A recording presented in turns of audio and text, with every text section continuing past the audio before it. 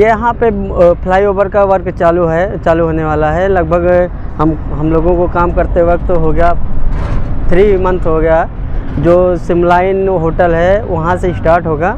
और आपका उधर जो खड़की रोड जाने वाला रास्ता है वहाँ पे जाके इसका एंडिंग है। जो फ्लाईओवर आएगा हमारा इसके बीच में आपके जो मेन चालीस गाँव फाटा का रास्ता। है यहाँ से जाने के लिए यहाँ से यहाँ यहाँ पे जाके इसका फ्लाईओवर बनेगा।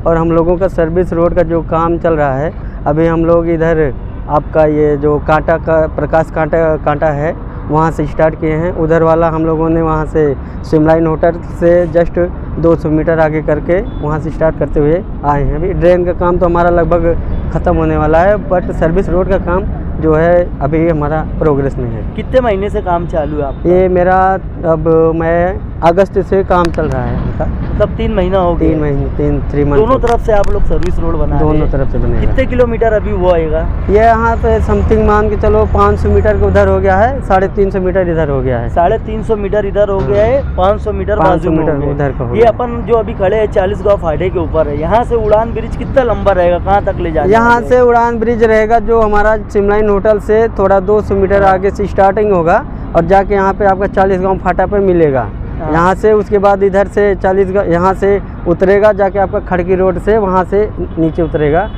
यहाँ से उसका ओवर मतलब ओवर यहाँ से डाउन होते होते जाके खड़की रोड पे आपको मिलेगा।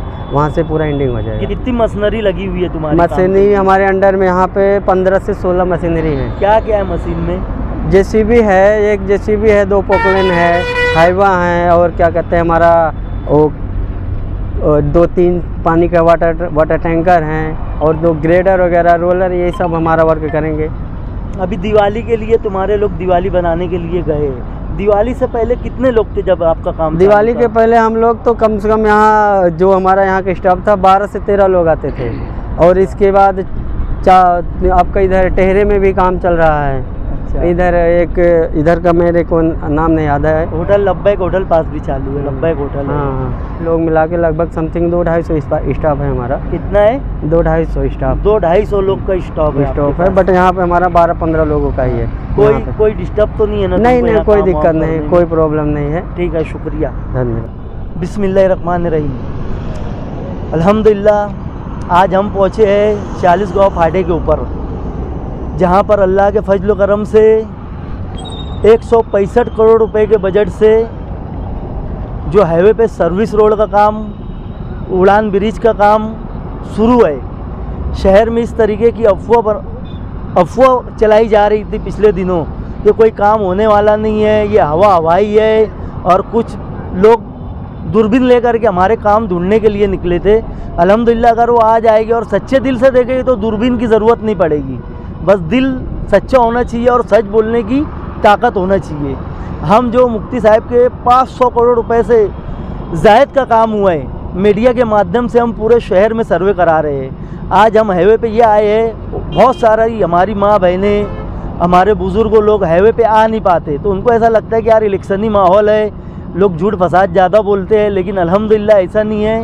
हम आपके चैनल के माध्यम से लोग के सामने सच्चाई लाना चाहते हैं। और हाईवे के ऊपर जो काम चालू है, अभी आपने देखा कि यहाँ का जो सुपरवाइज़र आपने उनका इंटरव्यू लिया, उसने बताया कि ये काम तीन महीने से चालू है और तकरीबन इस साइड से ले ये तो सिमलाइन होटल के पास से लेकर के आज ये चालीस गाँव फाटे तक के खोद काम हो करके सर्विस रोड अब यहाँ से उड़ान ब्रिज के लिए खोद काम शुरू हो गया है। उस साइड से अगर आप ले गए तो जहाँ पर हमारी नासिक सेंट्रल होटल बोलते थे, आज वहाँ पर अलहमदिल्ला मस्जिद तामीर होगी, या मस्जिद का नाम है अल्लाह अकबर। उसके आगे से खोद काम ले करके पूरा चालीस गाँव फाटे तक के ये काम की शुरुआत होगी अल्लाह के फजलो करम से। अभी हम यहाँ पर तुमको बताए होटल लब्बैक के पास भी आप देखेंगे। तो होटल लब्बैक के पास भी यही आलम है कि दोनों साइड से सर्विस रोड का काम चालू है। हम शहरियान से बस इतनी अपील, इतनी रिक्वेस्ट और इतनी गुजारिश करना चाहते हैं कि देखिए आप लोग के पास लोग बहुत आएँगे झूठ फसाद बोलने के लिए। लेकिन हम सच्चाई बता रहे हैं, इंसान झूठ बोलता है, कैमरा झूठ नहीं बोलता, हम कैमरे के ज़रिए आप तक जो काम हमने किए है, हालात ऐसे लोगों ने झूठ बोल बोल करके बना दिए है कि हमारे हुए काम को हमको दोबारा रिपीट करके लोग को बताना पड़ रहा है कि ये काम एम एल मुफ्ती इस्माइल का साहब की कोशिशों से हुआ है और ये तारीखी काम है। सौ साल तक के लोग याद रखेंगे कि यार service road M MLA Mufti Ismail Sahab के टाइम बनी थी नहीं तो जब 2004 में यहाँ सर्विस रोड के काम चालू थे, वक्त वक्त के लोगों ने उसका पैसा खा लिया और हमारे शहर में 500 से जायद लोगों के घर के जुम्मेदार हो, बाप हो, बेटा हो शौहर हो, स्टूडेंट के ज़रिए उनका इंतकाल हो गया। सिर्फ़ उसकी वजह ये थी कि सर्विस रोड नहीं था। अल्लाह के फजल करम से, मुफ्ती साहब की कोशिशों से आज एक बड़ा काम हो रहा है। अल्हम्दुलिल्लाह, अभी हम लोग चालीस गाँव फाटे के पास से आपको सर्वे करा के लाए आज हम उस जगह पर खड़े हैं। मैं समझता हूँ कि जितनी भी मौतें हुई है हाईवे के ऊपर, हाईवे क्रॉस करते हुए वो है लब्बैक होटल और सोनगांव फाटा। अल्लाह के फजल करम से आप कैमरा चारों तरफ़ घुमाए गए तो दोनों साइड से सर्विस रोड का काम चालू है और बड़ी ज़ोर से चालू है। रात में भी चालू है, दिन में भी चालू है। हालात ऐसे है कि दिवाली का त्यौहार होने के बावजूद काम यहाँ पर बंद नहीं है। शहर में जो लोग कहते हैं कि यार काम जो है, आमदार का काम बड़ा काम होता है तो अल्हम्दुलिल्लाह ये वही बड़ा काम है जो शहर के लोग कहते हैं। एक सौ पैंसठ करोड़ रुपए का काम छोटा नहीं होता। गाँव के हालात ऐसे थे कि मजबूरी में रोड और गटर का काम एम एमएलए मुफ्ती इस्माइल कासमी साहब को करना पड़ा। अगर जो लोग कारपोरेशन में साढ़े सात साल, जिनका महापुर था, डिप्टी मेयर था, स्टैंडिंग चेयरमैन थी और प्रभाग चेयरमैन थे, अगर वो लोग रोड, गटर, लाइट, पानी की सहूलियात का इंतज़ाम अच्छी से कर देते तो जो सौ, डेढ़ सौ करोड़ रुपए के तामीरी काम एम एमएलए मुफ्ती इस्माइल कासमी की वजह से हुए वो भी शायद ऐसी किसी एक बड़े काम में वो बजट लगता था। लेकिन हमारी मजबूरी ये थी कि साइड के जो हमारे कच्चे एरिए थे, वहाँ पर ना रोड थी, ना गडर थी। पीछे आपके चैनल के माध्यम से मैं पवारवाड़ी वार्ड नंबर चौदह आपको बताया कि कच्चे इलाकों में क्या हालात थे।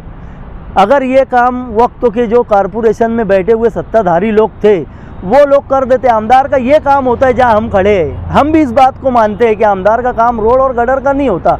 लेकिन आदमी बरहना है। तो पहले वो कपड़ा पहनेगा कि घर बनाएगा। इन्होंने शहर को साढ़े सात साल में बरहाना कर दिया था रोड और गटरों को। एमएलए मुफ्ती इस्माइल कासमी साहब ने शहर को बढ़ाना था जो रोड और गटर उसको कपड़ा पहनाने का काम किया है। बेशक जो आमदार का काम होता है, आज वो काम को हमने आपको सर्वे कराया है और अल्लाह के फजल करम से कल हम आपको और इसी तरह एक बड़ा काम है एमएलए मुफ्ती इस्माइल कासमी का आपका, आपके चैनल के माध्यम से कल हम आपको वो सर्वे कराएँगे इन शहर के लोगों ने जो एमएलए मुफ्ती कासमी साहब को एक लाख सत्रह हज़ार वोटों से नवाजा था, अल्लाह के फजल करम से पूरा शहर जानता है कि एमएलए मुफ्ती इस्माइल कासमी साहब ने जो अपनी ज़िम्मेदारी निभाई है आज तक के पूरे शहर में जो भी आमदार चुन करके आया उन्हें इतने अच्छे ढंग से ज़िम्मेदारी नहीं निभाई है। मैं और मेरी अपनी टीम पूरे शहरियान से ये अपील करती है कि आने वाली 20 तारीख के दिन पतंग निशानी का बटन दबा करके एमएलए मुफ्ती इस्माइल साहब को ज़्यादा से ज़्यादा वोट देने की कोशिश कीजिए। और साथ में अब मेरी माँ बहनों से भी अपील है कि वोट भी दीजिए और मुफ्ती इस्माइल कासमी साहब के लिए दुआ भी कीजिए।